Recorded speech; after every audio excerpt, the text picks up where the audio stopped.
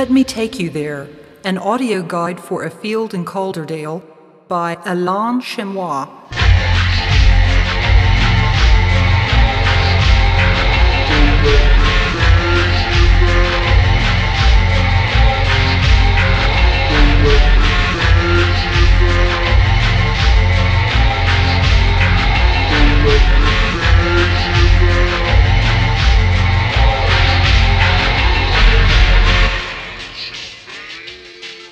Please make your way to Calderdale, West Yorkshire, in the north of England, preferably in winter time, and avail yourself of stout footwear. Once you arrive in Calderdale, go to Hebden Bridge and make your way to the Hardcastle Crags National Trust car park. Outside of the car park and over the bridge is a toilet building, and to the right of this a steep path marked Calderdale Way. Make your way along this path until you reach a large iron gate marked Haworth Old Road. Lift up the chain that holds the gate and make your way along this path for around 100 metres until you reach the fifth telegraph pole on your left. As you stop on the path, turn to your right and you'll see a steeply inclined field with a black stone wall at the far end, with tall trees behind the wall. Please stay here for the full duration of this guide. Well,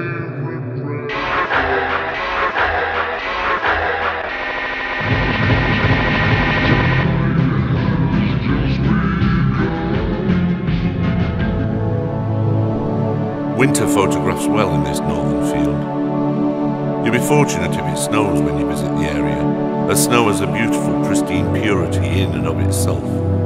And here it throws up dramatic contrasts between dark and light. It simplifies the landscape. Bare trees and dark stone walls become writing on a white page. Time freezes in winter, and death is always present. But this condition is also pregnant with future growth. The spring rebirth that hibernates and wakes under the frozen land, like the photographed moment seated within the photograph itself.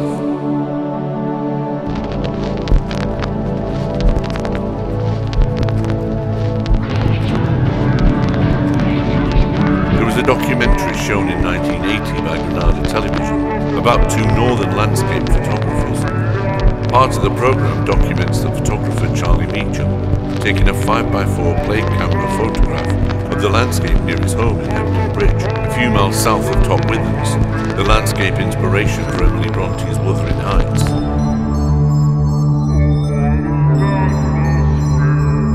Charlie says at one point during the program, I'm trying to produce an image that's not really about photography at all. It's about what atmosphere I'm trying to pick up on. It doesn't necessarily even have to be good light. I mean, that's probably a terrible day to make that image. It's very dark, shadowy, very bleak. You could have some nice leaves on the tree, I, don't know. You could make it look much more cheerful, but that probably wouldn't help the atmosphere of it.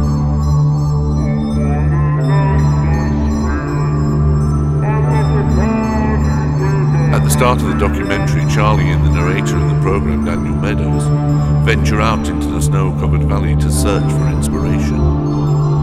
Charlie has short, dark hair that probably looks darker than it is against the snow, and has a small face with handsome features.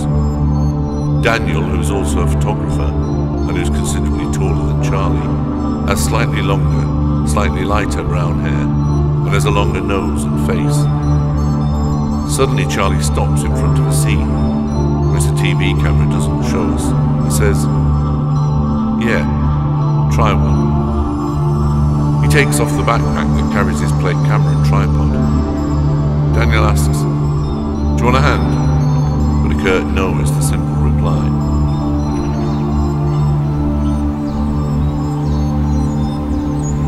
Then Daniel says, What are you looking at here? What can you see that other people wouldn't see? Charlie looks back at the scene, which we also see on camera for the first time, and says, There are two things vertical, two vertical elements, and a very strong horizontal. Very pure, very pure.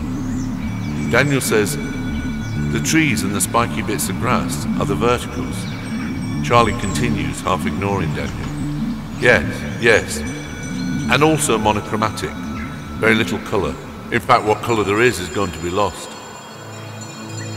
The location that Charlie is about to photograph is the field, wall and trees straight ahead of you. Charlie's view of it back then was almost black and white, and split into two nearly equal halves. The top half consisted of tall trees behind a low black stone wall. The side of a steep hill can be seen through the trees, and part of a grey sky above them. The bottom of the scene was filled only by snow, punctuated by spikes of vegetation. The view makes me think of a fragment of a diary I read once, describing a train journey into exile, through the frozen Russian landscape that defeated Napoleon and Hitler. Leon Trotsky was expelled from the Soviet Union in 1928, and on the way to his ship in Odessa, his train was stopped on a sideline for 12 days. Near a dead little station, Trotsky relates to his diary. There it sank into a coma between two thin stretches of woods. Our engine keeps rolling backwards and forwards to avoid freezing. We do not know where we are. Charlie's view of the field you're standing in may have been very similar to the view out of Trotsky's train window during those 12 days, days in which the whole of history seemed paused, frozen.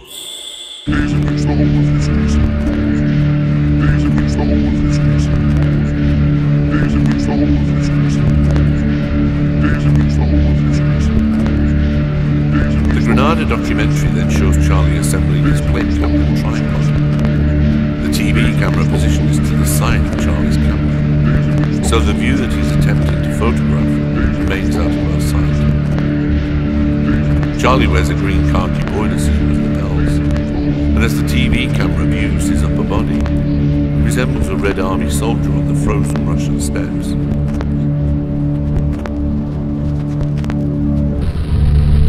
There's a poem by Ted Hughes, published in 1957, called Six Young Men, about another photograph taken in Calderdale. It describes an image of six youths sitting in the landscape at Lumb Falls near Hebden Bridge, just before the First World War, before they all went to Rochdale, a few miles to the south, and joined the Lancashire Fusiliers. Hughes writes, Six months after this picture, they were all dead. All are trimmed for a Sunday jaunt. I know that Bilbridge bank, that thick tree, that black wall, which are there yet and not changed.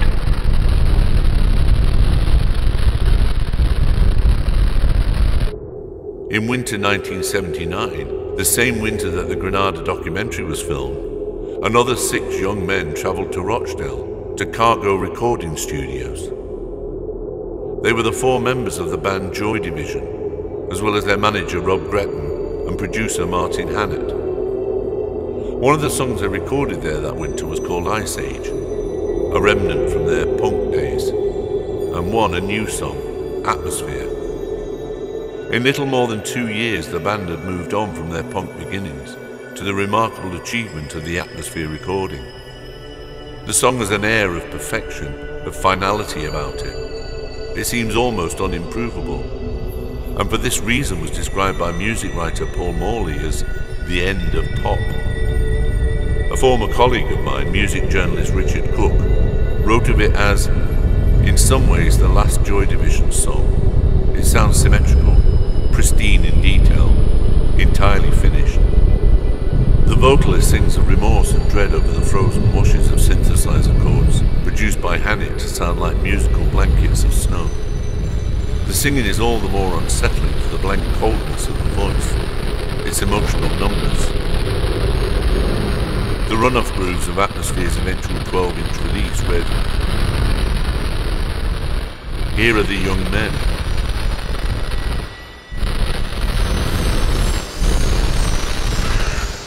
But where have they been?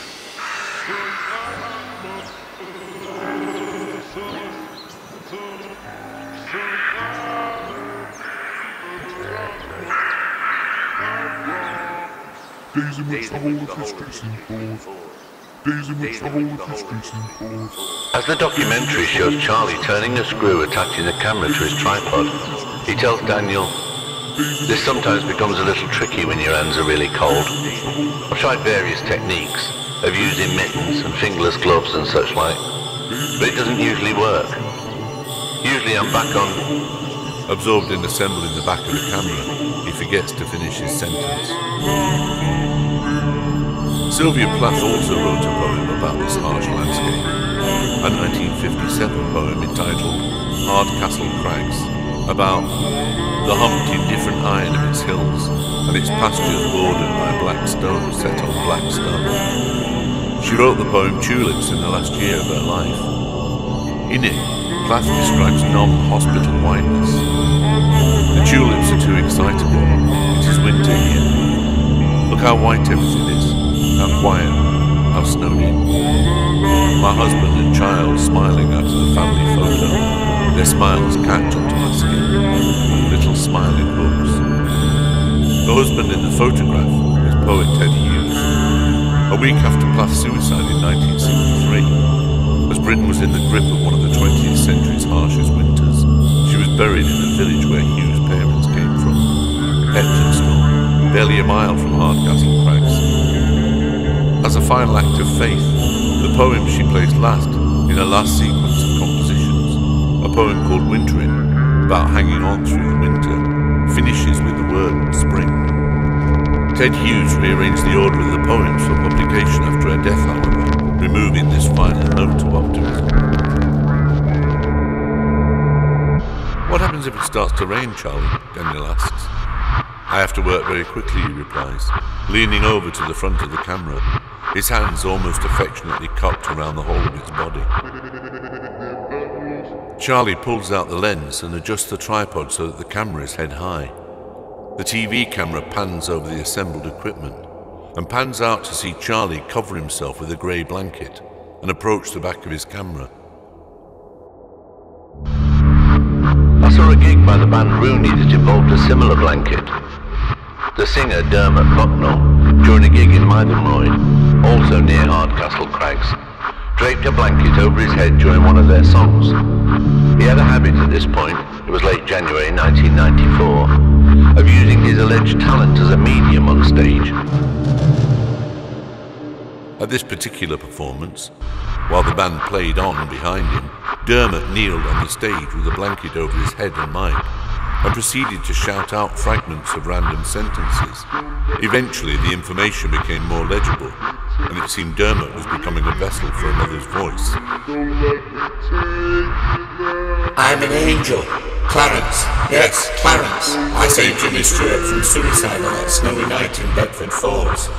I specialise in saving suicides. I can see a field in Calderdale, and the stone wall is the same. Those tall trees have not changed. It is winter there. There is snow all around. Let me take you there. He then shouted out even louder than before. Let me take you there. Then Dermot suddenly screamed at the top of his voice some lyrics from the 1984 party hit Atmosphere by the Northern comic Russ Abbott. I want an atmosphere. I a party with a happy atmosphere. So let me take you there, and you and I'll be dancing in the cool night air.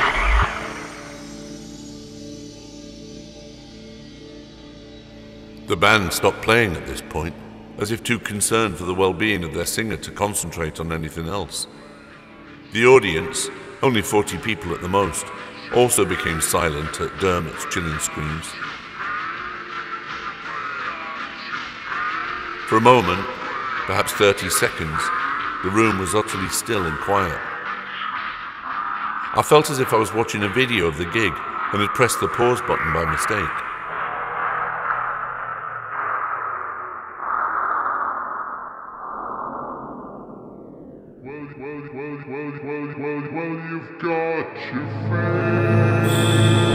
Oh yeah, that's not looking too bad at all, Charlie says from underneath the blanket, as he looks at the inverted image and adjusts the camera as he does so.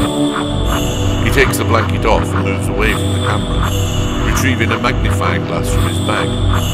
The TV camera then closes in, from the side, on Charlie looking through the magnifying glass at his framed image. Quite a broad exposure range, he says, as he assesses his exposure meter, pointing I'm going to have to allow one thing or the other to go. I want to keep the snow white and keep as much detail as possible. In the Joy Division song Atmosphere, a crystal ring of chimes punctuates the end of each verse. sounding like the aural equivalent of frosted branches, suddenly shifted by a gust of wind. Richard Cook wrote, The tremble in the closing chords brings a shiver as one recalls the sleeve of the reissued 12-inch, a snow scene, empty, virginally white. Six months after recording the song in that wintry Pennine studio, the singer, Ian Curtis, was dead. The photograph referred to by Cook on the cover of the Atmosphere 12-inch released in September 1980, four months after Curtis's suicide, is Charlie's photograph, the taking of which is documented in the Granada TV program, the subject of which is straight ahead of you.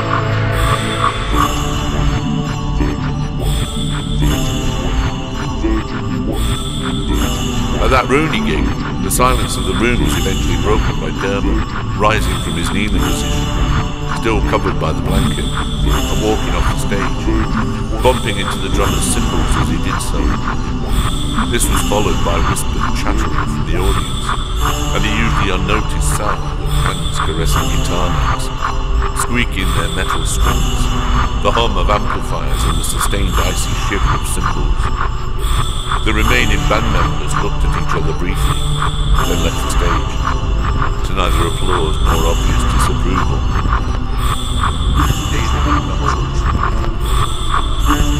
In the Granada documentary, we see Daniel looking admiringly on, head propped on his fist. Charlie takes a transparency from his bag as we hear the sound of dogs in the distance. He slots the transparency into the camera, checks the camera lens for obstructions, removes the cover of the transparency plate, and presses the shutter. The TV picture then fades to a shot of the printed photograph as we hear the sound of distant barking, gradually fading. In the almost black and white photograph, the landscape is split into two nearly equal halves. The top half consists of tall trees behind a low, black stone wall. The side of a steep hill can be seen through the trees, and part of a grey sky above them. The bottom of the image is filled only by the writing of vegetation on the black page of the snow.